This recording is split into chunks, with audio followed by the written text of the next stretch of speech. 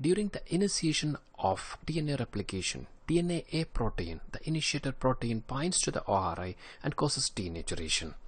Then helicase binds near the replication fork and causes unwinding of DNA in opposite direction. Single-stranded binding proteins binds to this unwound DNA that prevents rejoining.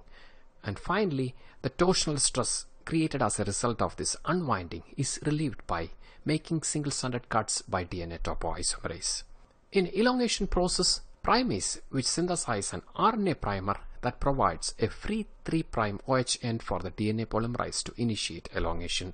DNA polymerase is a template-directed polymerase enzyme that adds complementary nucleotides. DNA fragments that is formed are joined by phosphodiester bond formation by DNA ligase enzyme. In termination, TUS protein topoisomerase 2 is involved in prokaryotes, whereas an enzyme complex, telomerase, is involved in eukaryotes.